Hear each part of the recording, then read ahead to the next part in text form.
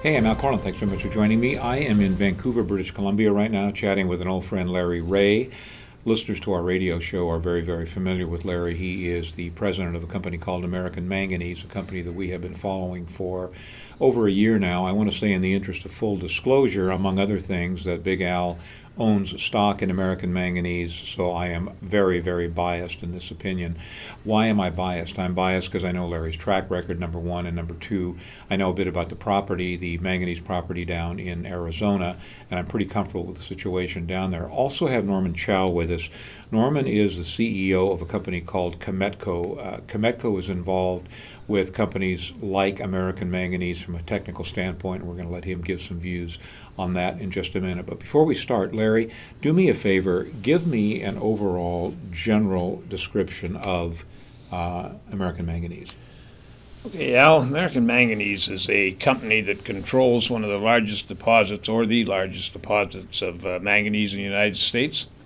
And we are doing uh, uh, test work at this time and a 43101 preliminary economic uh, assess assessment, pre-feasibility study, I should say, that uh, will move us to the next step. Now, Norm Chow, who's with me here now, has uh, developed some uh, very, uh,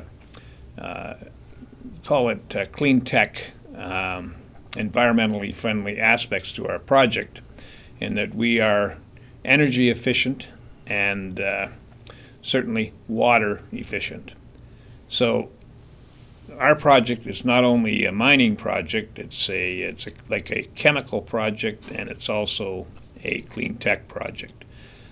And I'm happy to uh, say that every all our results so far have been gratifying.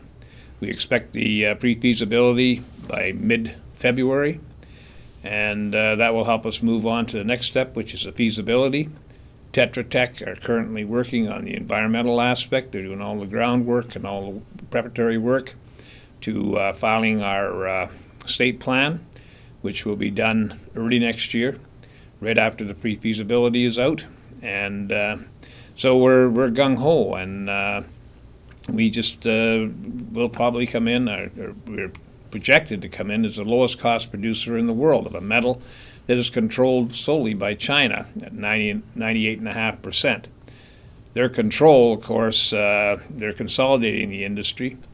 Uh, we've just had CPM Group do a uh, uh, projection on where the uh, price of price and the demand for uh, electrolytic manganese metal was going.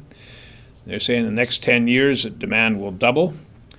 They're saying that the Chinese are consolidating the industry, which I've spoken of before and that they're losing about uh, 700,000 tons of capacity. So we can't depend on the Chinese much longer for all our production of uh, electrolytic manganese metal. Larry, I got a question for you, and my question is in terms of you kind of hinted around, and, and, and you weren't quite as direct as I would like to have seen you in terms of the fact that you have every intention to put the property into production in Arizona.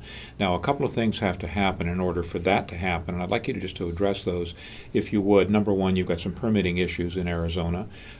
Where do you stand on that? Well, the uh, Tetra Tech are advancing the permitting issues. We expect to meet our timeline, which you'll find on our site at uh, AmericanManganeseInc.com. You'll see a timeline in our PowerPoint. Uh, we expect that uh, Tetra Tech will complete all that by uh, late next year. Not next year, I'm sorry, but the, in 2013. Our uh, feasibility work should be all completed this year. And uh, then it's into uh, the financing of the project. Yes, we want to put it into production. It's the lowest cost producer in the world. We're not afraid of debt, and I think we'll lean heavily to the debt side of the equation when it comes to putting the property into production. I don't have hard numbers till I get the pre-feasibility study, but it's going to be in excess of about 120 million, I would say. And uh, that's very doable by a junior company. Uh, for the kind of cash flow we get, we'll pay back in a year and a half and um, I feel that uh, we're certainly in a position to take this thing right through to production. Norm, let's talk a little bit about your company's involvement with American Manganese.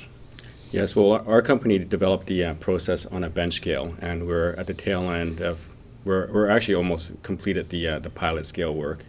Um, basically, what we did was we took the, uh, process mainly developed by the U.S. Bureau of Mines, and there was an inefficient part of the process that um, had heavy energy use and water use on uh, the water part of the uh, the process. And what we did was we took modern technologies to um, very efficiently recover the water. Um, works out to be as, as that unit operation to be about 15 times less energy for that one unit operation. So it brings this to a very economical um, uh, process to recover the manganese from a low grade resource.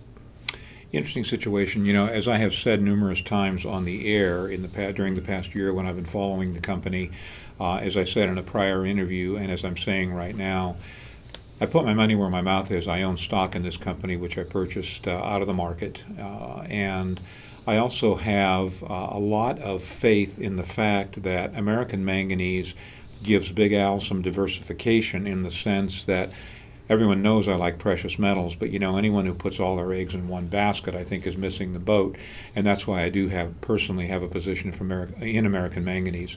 Now, if you want more information on this company, either go directly to their website, which is given here, or click on the banner on our website. You get all the information you want. Why is that important? It's important because you don't want someone else making your decisions for you. You want to do your own research and you want to make up your own mind on every single investment situation that you look at. Larry, Norm, thanks, guys. Thank you very much. Thanks, Al.